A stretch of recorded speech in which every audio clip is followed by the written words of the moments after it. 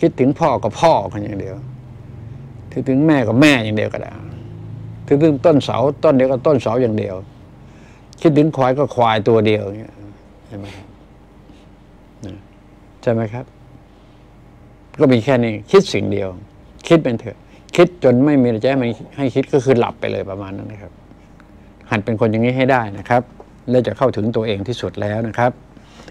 ลุงให้ให้แนวทางไว้นะครับ